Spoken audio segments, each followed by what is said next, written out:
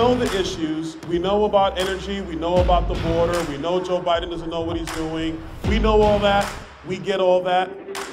But why do this? Why do this here tonight with Legacy PAC?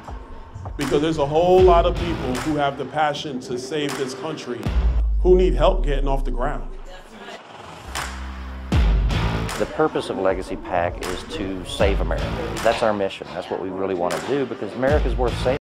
Um, I am by trade, I'm a cybersecurity engineer. Okay, so this is my first run in, in politics. We need more conservative Republicans standing up and fighting for the Constitution. We're an America First PAC and we want to promote and help our uh, up and coming uh, candidates, and uh, we're going to be holding the line for President Trump. I joined the Army at 17 years old. My first day at my first unit, which was 25th Infantry, was September 10th, 2001. So the next day was 9 11. And I spent about a, a total of a decade between Iraq and Afghanistan in country. So my country means everything to me. When I realized that if people like myself who don't want to be politicians don't start stepping up and taking these seats, that nothing's going to change, then I said, okay, I'll do it. Who deserves to lead the people of this country more than those who serve this country? So I'm behind every one of them. So let's uh, let's, let's make sure we get more veterans into, into power. I'm, I'm all for it. Remember why you're involved. We have to make sure people remain humble and not engage in self-glorification. You are here for one reason, and that is to save the country. Period. End of story.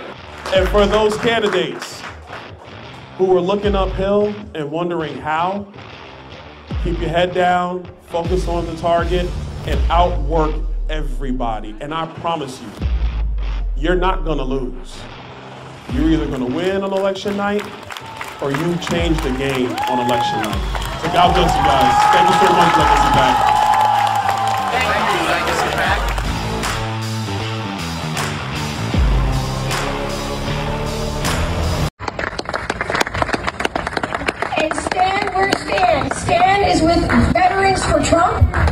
Thank you, Martha.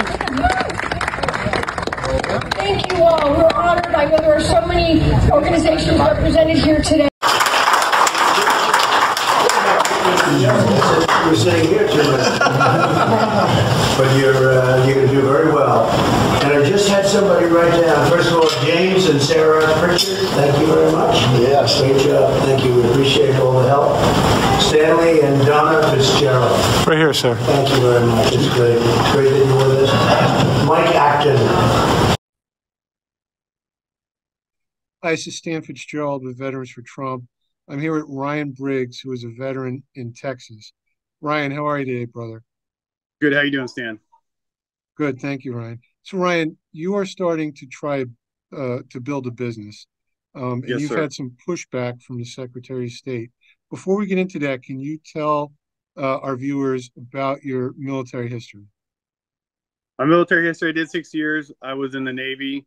Um, you know, went on a couple deployments, got in, got out, had service connected disabilities from my job.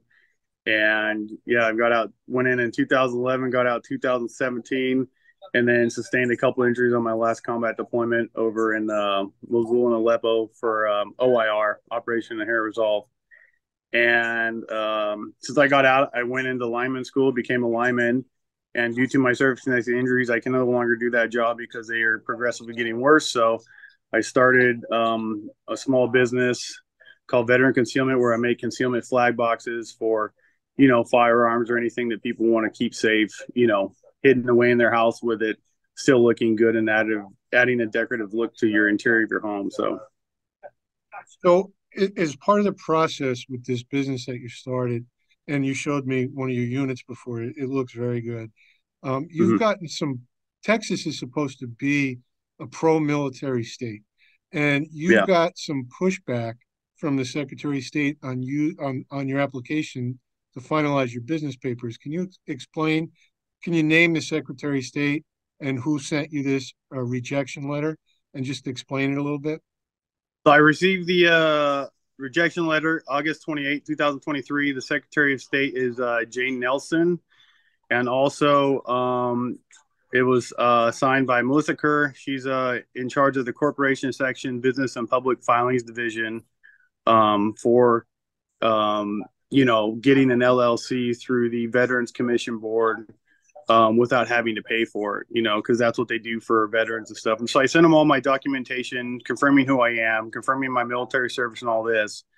And they sent me this letter back August 28th stating that I cannot use the word veteran because it is, I need it to be approved by um, an organization um, that can give me consent to use it as far as, you know, the American Legion or the um, United Spanish War Veterans or veterans of Spanish American Wars. So um, I've contacted a couple of different American Legions. I've contacted another um, veteran um, organization, and nobody's helped me out or anything to get my approval. And I just need the letter of approval saying that I am who I am and that it's okay for me to use the word veteran for my company. It's what's holding me up and getting my um, business ID number and then my LLC to make everything official.